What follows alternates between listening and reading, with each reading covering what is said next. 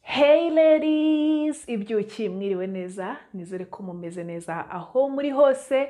Ah, ni buri mushyashya hano, ndi Niki, ndakwakiriye mu muryango mugari wa Love Squad, wa muryango uri on point. Uyu munsi rero tugiye kuganira ku kintu bita vaseline. Vaseline ni ikintu umuntu wese aho ava akagera aba afite iwe mu rugo, yaba umwana, yaba umugabo, yaba umusaza, yaba umukecuru, yaba everyone. Nta muntu washaka vaseline ngo ayibure. Vaseline burya rero igira utumaro twinshi utaruzi uyu munsi rero wori nomo njye kuganiriza ibintu icumi n'aka cumi na kamwe ka bonisi cyane cyane abakobwa kako muragakeneye abantu birirwa bambaza ibintu by'amabere. Ya vaseline akamaro kenshi yakugirira nyuma yo kwisiga n'ibindi wari usanzwe ubikoresha. Ya tudatinze rero nagusaba please do subscribe ni akantu k'umuntu kanditseho subscribe mu cyongereza cyangwa se sabone mu gifaransa ugakanda ugare updated igihe cyose na uploadinze video nshyashya. Nanagusaba please ngume like niba uri excited byonyine ni video. Ngiye kubagezaho please and go follow me on my instagram and snapchat. Guys guys this year this year mugomba kunshyigikira najya nk'uko mbashyigikira ni ku gahato noneho. Ya go follow me on my instagram. Um, ni ho hantu nkunze uh, kuupdatinga news aho ziva amakuru yose anyerekeranye. Yaba se nashyizeho video nshyashya yaba se n'andi makuru. Niba unanyikundira aba ariho tujya tunaganirira cyane ko uh, hari amaseri nshaka kugira nk'uko nababwiye buri byibura buri kwezi kabiri mu kwezi uh, nkashyiraho urubuga tukaganira mukambaza ibibazo aho biva bikagera byose. Mushaka kumbaza uh, byo mukunze kumbaza muri dm yeah guys without further ado let's just get into the video. So guys, ikintu rero cya mbere na mbere vaseline idufasha ku bantu bakunze kwisiga imibavu burya iyo ufashe akavaseline tuvuge niba ari nk'hano inyuma y'ugutwi ugafata akavaseline gakeya ugasiga inyuma y'ugutwi cyangwa se haba ahangaha cyangwa se handi hose witera perfume warangiza ugateraho parfum ni garanti y'uko parufe yawe irakumaraho umunsi wose. Hamwe ujya no koga wajya muri shaka kundi wimenaho amazi uh, ukumva odeur cyangwa se ya smell ya perfume yawe ya scent yawe irimo irazamuka uyumva uh, mu mazi no mu bikubisho. So ya ikintu cya mbere rero vaseline idufasha uh, gutuma perfume yacu idutindaho kandi nibaza ko uh, buri muntu wese ni cyo kintu aba aharanira. Rero ya kabiri cyangwa se akamaro ka kabiri igihe cyose ufite uh, ibirenge nko mu gihe cy'imbeho cyangwa se uh, mu gihe cy'izuba hari abantu benshi bakunze gusaduka ibirenge uh, niba se nabyita imyate cyangwa se kwa kundi ubona ibirenge byaba bivuvuka uh, byumagaye handi umuntu aryama mu mashuka akabyuka ishuka yose yacikaguritse kubera ibirenge bikakaye. Icyo gihe mbere yo kuryama ufata vaseline ihagije ugasiga ku birenge warangiza ukambara amasogisi garanti y'uko nyuma y'iminsi itatu uba ufite akarenge nk'ak'uruhinja medo. So ya point rero ya gatatu akamaro ka gatatu vaseline yadufasha. Igihe cyose ni ukuvuga um, hari abantu mwikunze gukora nka makeup hari za gel dushyingiyeho nshyiraho nk'ubu ngubu kugira ngo ingohe zanjye ntizibe zava aho ziri. Ubona ko n'ubu ngubu ndi kuzikoraho nubwo hariho tiro ariko ntago iva ku ntoki uko yakabaye. Um, icyo gihe rero iyo udafite jeri ya eyebrows kugira ngo zihagarare cyangwa uzihe umurongo ufata ka vaseline gakeya ukagasiga ku karoso warangiza ukazamura utugohe twawe neza. Ni garanti y'uko ingohe zawe zishobora kumara umunsi wose zitabuje ngo zicurame zongere zicuramuke. Bya bindi nkanjye rwose ntasize jeri mu ngohe zanjye. Rumwe rureba hariya urundi kantarange donc ya vaseline idufasha gushyira ingohe zacu ku murongo. Ingohe ibitsike. So ya point rero ya kane um, navuga akamaro ka kane uh, ni igihe cyose ku bantu bakunze kugira iminwa isaduka iminwa ishishuka ya minwa iba itari healthy vaseline vaseline vaseline ni umuti kurenza izindi lip balm cyangwa se chapstick. Zose zose ziba kuri market vaseline ni iya mbere. Ngewe um, um, buri munsi yongeye kuryama. Siga vaseline ku munwa kandi kuva namenya iyo trick nkatangira kuyikoresha hehe no bya bindi by'iminwa yuma cyangwa se n'igihe kwa kundi umuntu yirara n'ubunebwe n'iki najya kuryama ah nkaba ngo sinshara ngo njye kwisiga vaseline. Nkaryama iyo mbyutse cyangwa se nkagira. Kwa kundi bibaho nyine iminwa ikuma ndakubwiye ngo niba iminwa yanjye yumye nkarazaho ka vaseline mu gitondo iminwa ibyuka mm, ibebereye.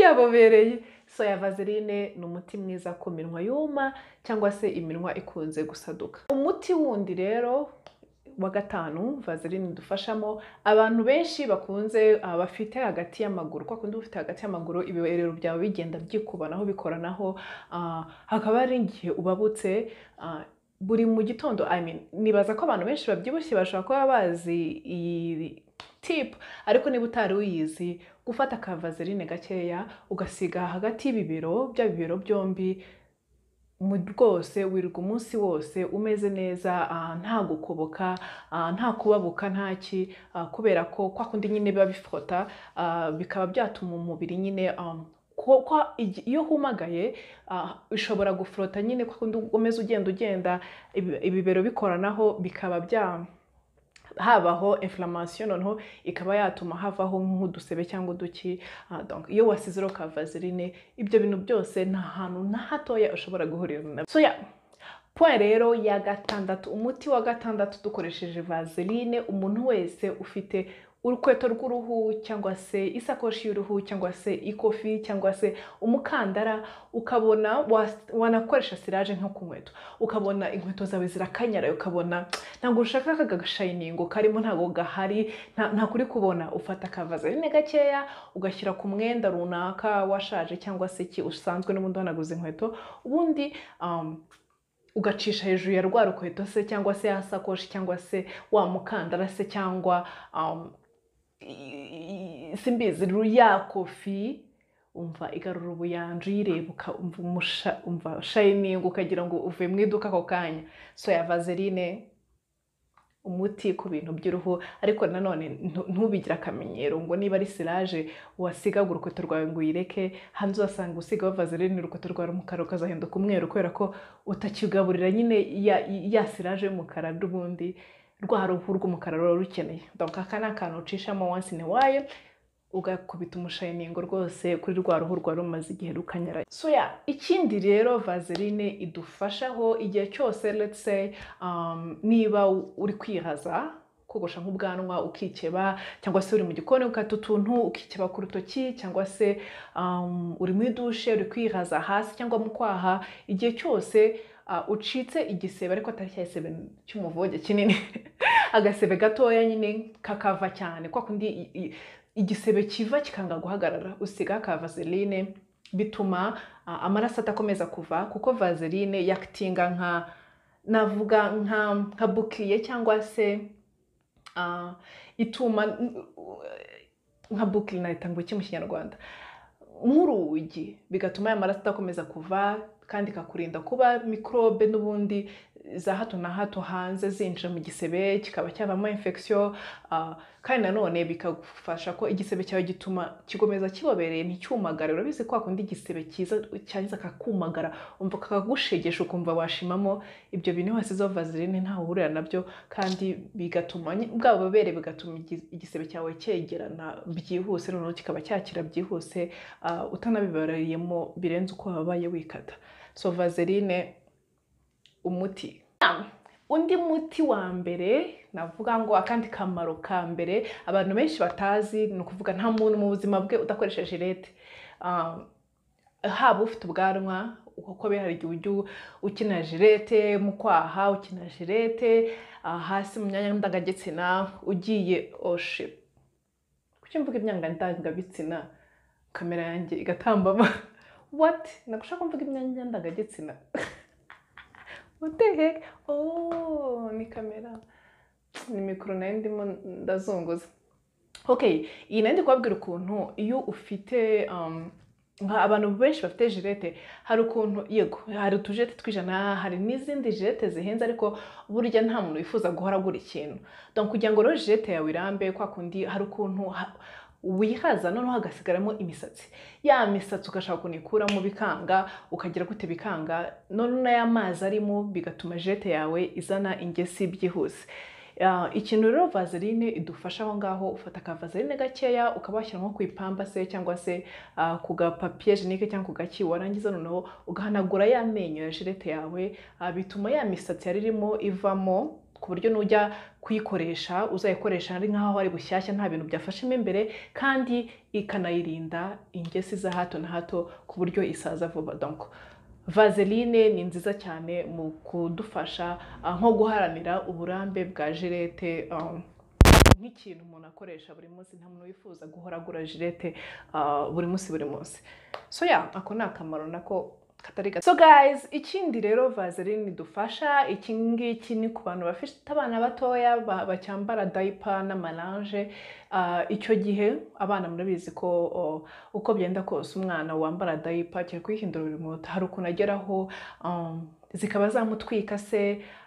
Igihe cyose kugira ngo urinde umwana wawe ah, bwa bubabuke bwo muri dayipa umusiga akavazeline ku kabuno rwose ah, na za nkari niyo zije kubera ko vaseline ni nka bariyeri ni bariyeri y'ibi ntabwo vaseline kuyipenetramo ibintu ntabwo bi- bipfa koroha.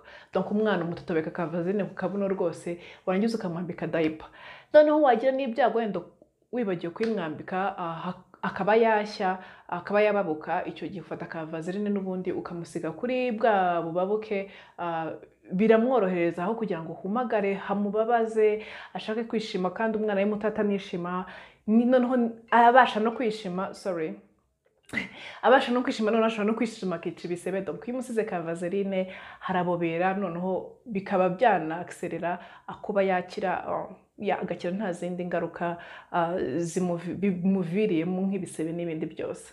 So, ya mu kurangiza rero i- indi tipu nabasangiza ni uko uh, ku bantu bafite utulashes dutoya cyangwa se zinini ariko uh, wareba wareba gutya ukabona ni nini ni nyinshi. Ariko wakanura ukabona ntizigaragara. Ni- ni ho handi n'ubundi maskara izi ikadufasha. Ariko uramutse udafite maskara uh, ufata akavaseline gakeya haba se ku, rutoki se cyangwa kuri um, kuri tishu koto warangiza ukazamura utu, utu, utugohe twawe neza bituma utugohe twawe duhagarara noneho n'udutoya tugasa nk'utwegerana noneho bikaba ya, byagaragaza nyine ubunini bwa lashes zawe cyangwa se ingohe zawe.